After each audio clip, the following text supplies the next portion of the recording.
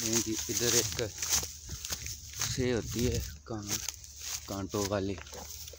उसने अपना घर बनाया हुआ है। ये देखें, बहुत ही ख़तरनाक है वो। अगर निकल भी है तो वो तो मार ही डालेगी। ये देखें, इधर। जो कब्रस्तानों में भी आ जाती है, उसके लंबे लंबे कांटे होते हैं से उसे कहते हैं, उसके पार पड़े हुए हैं। ये इधर हमने इसमें पानी छोड़ा था, लेकिन पता नहीं और निकल के गई है कि नहीं। उसने इधर अपना परमानेंट घर बनाया हुआ। ठीक है, ये हमने पहले कमरा एक तमीर किया हुआ था। कच्चा, काफ़ी पुराना, एक साल पहले। तो वो अभी ख़त्म हो चुका है। इधर हर तरह के सांप भी होते हैं, लेकिन अभी कोई बाहर नहीं है। ये सारा जगह जो है वीरान हुई पड़ी है। इसको अब हमने आबाद करना है, ताकि इधर खौफ ना आए कि जो है यहाँ आने से जैसे अब मैं तो आ गया हूँ हमारी अपनी जगह। तो दूसरे लोग जो है ना, ये नहीं आते। अब देखें ये बिल चूहे ने बिल बनाया है, इसी में ही सांप भी चला जाता है, ठीक है? क्योंकि सांप खुद तो निकाल नहीं सकता बिल। वो पहले की बनी हुई जो बिल होती है ना उसमें ही वो अपना घर बना लेते हैं। घर क्या बनाना? कभी थोड़ी देर रहा है इधर, कभी किधर। ठीक है। पीछे खजूर है थोड़ी बहुत हैं पुरानी काफ़ी चीज़ें ये हमारे जामन है।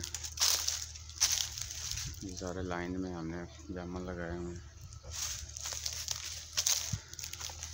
वैसे है वीरान जगह, लेकिन इधर माहौल काफ़ी अच्छा लग रहा है। अगर इधर बन जाए ना कुछ हमने जो बनाना है काफ़ी चीज़ें हमने इधर बनानी है। ठीक है।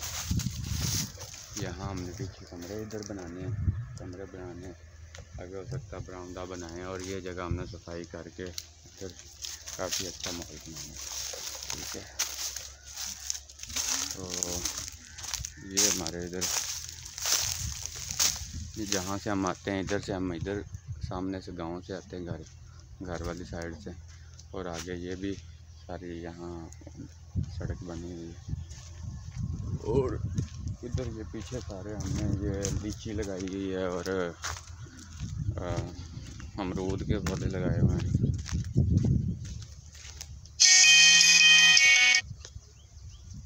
ये हमारा जो है ना, ये जगह पहले ये साथ वालों की थी, इधर। लेकिन हमने ये फरमाइश कराई है, ये हमारी तरफ़ आ गई है, ये सड़क वाली जगह। ये जामन के दरख्त लगे हुए हैं। ये पहले तो हमने हद पे लगाए थे, लेकिन अब ये हमारी जगह, ये वाली जो खाली जगह है ना, ये हमें आ गई यहाँ तक, आगे तक। क्योंकि तो बाउंड्री पे जो होता है ना, दूसरे होते हैं लोग, उनसे तो अब मसला ये है कि गुजरे ज़मीनें हैं, पुरानी कमाइशें होती हैं शहरों में तो। या रैशी जगह तो एक एक इंच का होता है मामला। यहाँ खुलाई तो बड़ा अच्छा माहौल है इधर। छाँव है। हम वैसे गर्मी बहुत है धूप में, लेकिन छाँव में देखें, काफ़ी अच्छा मौसम है। ये जी ये भी हमारी बाउंड्री है हमारी जगह नहीं है। ये हमारे रिश्तेदारों को थे उन्होंने सेल कर दी है, ये वाले। ये सारी उनके पास, हमारे पास ये वाले। ये कॉर्नर है, ठीक है। कॉर्नर ये जामन के दरख्त हैं, इधर हम आगे चलते हैं। यहाँ से पानी वगैरह जो हम फ़सलों को लगाते हैं, वो उसके लिए ये नाला बनाया हमने। ये ये हमारे पौधे हैं जिनमें ये लीची का दरख्त है। ये अभी छोटा है, अभी न्यू लगाए हैं, कुछ दिन में, साल को हो गया, ठीक है। ये इसमें फ़सल भी हो जाती है।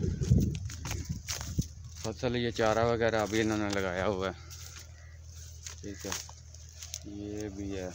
उनके नाम तो मैं बता सकता हूँ, लेकिन आपको समझ नहीं आने। पंजाबी में नाम। जंतर जन वगैरह ऐसे कहते हैं।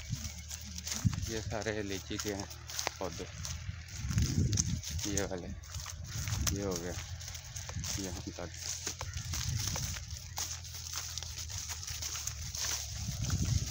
ये मिठे लगे हुए हैं जी।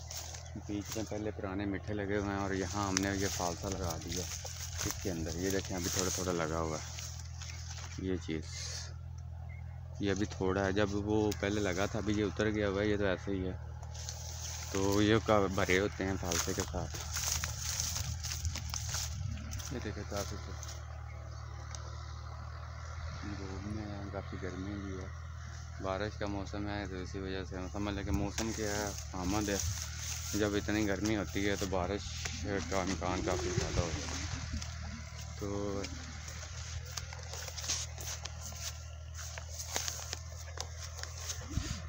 ये देखिए, यही नाले से पानी जाता है और ये सारा फालसा और इसमें दो मिट्टों की लाइन है। ये जी, बेल लगी हुई है इसमें तो कद्दू वगैरह लगते हैं, ये लगे भी हुए हैं कद्दू। ये देखें ये कद्दू लगा हुआ है। देखिए इधर लगे हुए हैं। ये सारा फालसा फालसा है अभी भी। ये फालसा लगा हुआ। ये ये। ये इस तरह का खाल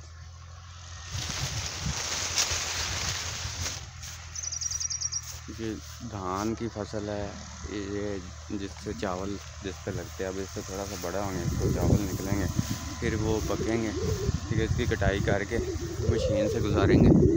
तो जो है, वो उसके बाद वो आगे चला जाता है जब उसकी मशीन के अंदर फिर सफ़ाई करके चावल लगता ये सारी जगह जो है, ये हमारी है। ठीक है, उसमें भी अमरूद के हमने नए पौधे लगाए हैं पहले पुराने थे, वो हमने काट दिए ठीक है, इसके अंदर हमने चारा लगाया हुआ है ठीक है हमने नहीं किसी को हमने जानवरों के लगाया।